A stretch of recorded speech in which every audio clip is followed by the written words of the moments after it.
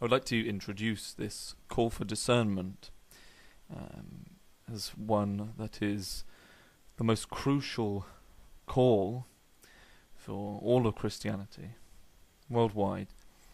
And I would like to do so by stating very briefly that before I was saved by the Lord, I was hopelessly lost in conspiracy theories. I was learning lots of truth, lots of things that are actually true. There are certain um, secret societies and things. There is something called the Illuminati. Uh, these things do exist. However, it's important to know the origins of them. For instance, lots of people do not know that Adam Weishaupt was a Jesuit. People do not know things like that. Uh, they're not interested. Men like Alex Jones will not discuss the Jesuits. Um, and unfortunately, at the time, uh, I was not a Christian. I had no interest in Jesus Christ, and a great deal of what I was learning was just being spoon-fed me by lying New Age snake oil salesmen, coming up with all kinds of bogus arguments about the Bible, and just lots of other nonsense. I can now see, however, that I was living in a, a foolish arrogance by presuming that I would be free from all of all of the um, the lies once the Lord saved me. Um, indeed, um, there's more deception I feel within Christianity than outside, and the reason being is Jesus Christ is the truth, and Satan is the father of lies. He has never stopped trying to kick up clouds of dirt to obscure the truth, and Christianity is far from exempt. Indeed, it appears that Satan's hardest work has gone into confusing Christianity, a sort of mimic of how God confused Satan's children at the Tower of Babel. Now, I'm making this video because the Lord has shown me that the majority of Christians believe in two specific sets of doctrine which have been created absolutely by the children of the devil and are thus inspired by the spirit of our enemy. Now, for most Christians, the things I'm about to state and conclude upon will come as a surprise, but I would ask you to not simply dismiss the facts I will present, nor simply to believe everything I have said, but rather pray to God in the name of the Lord Jesus Christ that He would reveal the truth of these matters to you and guide you in all truth by the power of His Holy Spirit. I make no apology for presenting this information quite informally and unprofessionally. I want for you to examine the facts for yourselves. The Lord has shown me that as His children, we can only ever be truly convinced of something if our Father has told us it is true. May God guide you in all truth. The Reformation is a title typically given to the movement that saw the providence of God sweep across Europe, with men independently seeking to translate the Bible into native tongues. Ultimately, the people were enlightened by this and broke free of the yoke of papal authority, persecution, and blinding false doctrine. Before this were the, the Dark Ages, which, as one would expect by its name, was a time in which Rome kept the masses blind, with only certain priests being allowed to read the scriptures. No questioning of papal authority was allowed, and, of course, before as well as after the Reformation, if anyone were to be found translating the Bible or reading it illegally, they were to be executed by the papacy. So the Reformation is absolutely crucial for all of Christianity. We have so much to be grateful for. Indeed, we should be praising God that we even have His Word and that we can read it in peace. And yet, so many people leave it on their shelves to collect dust. But it's the the main debate of the Reformation. It's the main um, contradiction between the two parties that I want to examine here as we begin.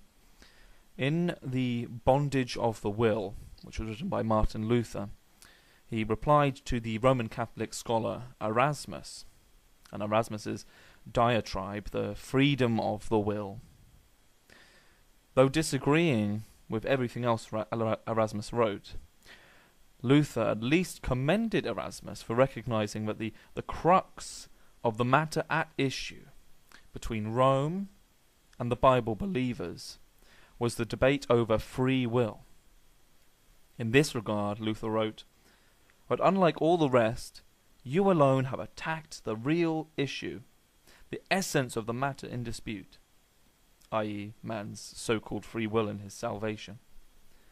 You and you alone saw what was that grand hinge upon which the whole turned, and therefore you attacked the vital part at once, for which from my heart I thank you. And I thank him too, as it makes my job in this video that much easier, and it allows us to see Satan's scheming, so that we are not ignorant of his devices. And from this, we can see that the major factor of debate for the Reformation, as identified by Luther, was God's sovereignty or man's free will in his salvation, something resolved so brilliantly by the Apostle Paul in Romans chapter 9, with verses such as 15 and 16, which say, For he saith to Moses, I will have mercy on whom I will have mercy, and I will have compassion on whom I will have compassion. So that it is not of him that willeth, nor of him that runneth, but of God that showeth mercy. The Papists were on the side of the free will of man in his salvation, and the Protestants were on the side of God electing us to salvation as we are told in Ephesians chapter 1, uh, with verses like 4 to 6. According as he hath chosen us in him before the foundation of the world, that we should be holy and without blame before him in love, having predestinated us unto the adoption of children by Jesus Christ to himself, according to the good pleasure of his will, to the praise of the glory of his grace, wherein he hath made us accepted in the beloved.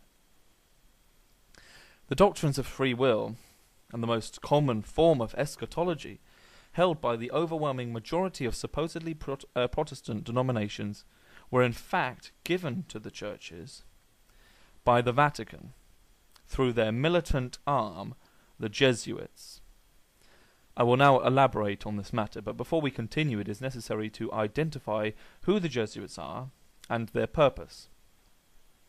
The Jesuits, or the Society of Jesus, or Los Alumbrados, as it was originally known, which being interpreted is the Illuminati, was created by Ignatius Loyola in September of 1540.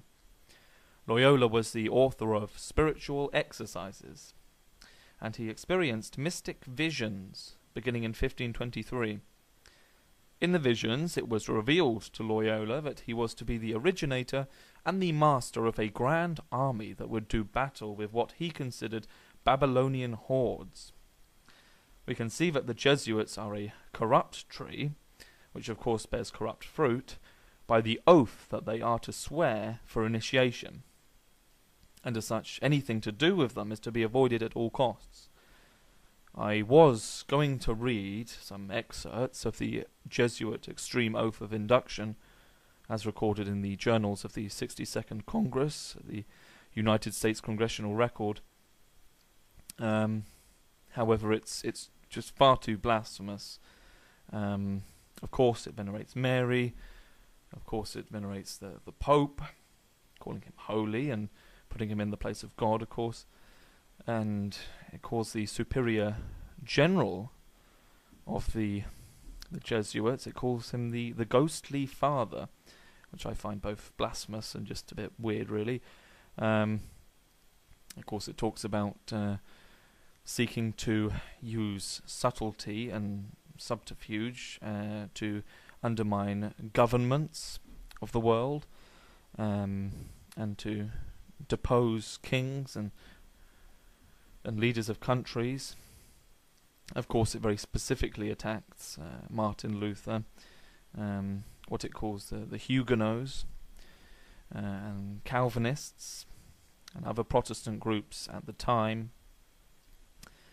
And it basically says that they are to kill um, all Protestants if need be, and it says something about doing something horrible to their infants, if need be.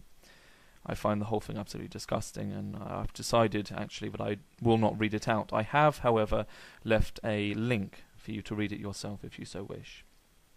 The thing that strikes me, of course, is that the loving Lord Jesus Christ, who told us to love our enemies and not to hinder the little children from coming to him, would not have had such filth spew from his stainless lips as doing to children what is described in this oath. Um, it's not quite being as harmless as doves now, is it? Um, alone the fact that the Lord told us not to swear oaths at all. Um, I I feel it quite correctly identifies Jesuitism as a corrupt tree, and therefore anything that comes from Jesuitism is a corrupt fruit. And as believers, we have a duty to be aware and to leave it and have nothing to do with it. Uh, the scripture comes to mind when I read this oath, uh, Matthew 7:15. Beware of false prophets which come to you in sheep's clothing, but inwardly they are ravening wolves. The intent of the Jesuits, and certainly the intent of Loyola, who believed he, he had received this call from Mary, the mother of Jesus, was to enact a counter reformation, as it is called, to undo the work of the reformers. Being a man who despised the doctrines of grace, Loyola saw the Protestants as the Babylonian hordes, which he should exterminate from the face of the whole earth, as the oath declares. We certainly can know them by their fruits. We should not be surprised that the Jesuits fully recognized the significance of the great debate of God's sovereignty over man's free, uh, uh, sorry, God's sovereignty, or man's free will in salvation. This debate was the, the crux of the revolution, uh, the Reformation, sorry, as Luther rightly identified it. Indeed, the Jesuits were even playing a part in this battle for biblical truth, as I shall now show. In 1545, the Council of Trent was convened by Pope Paul III. In this council, the Catholic Church adopted a stance on justification that was blatantly contrary to the Scriptures. In Canon 9 of the Council, the Church declared, If anyone saith that by faith alone the impious is justified, in such wise as to mean that nothing else is required to cooperate in order to the uh, obtaining the grace of justification, and that it is not in any way necessary that he be prepared and disposed by the movement of his own will, let him be anathema. Or accursed, that could be, I suppose.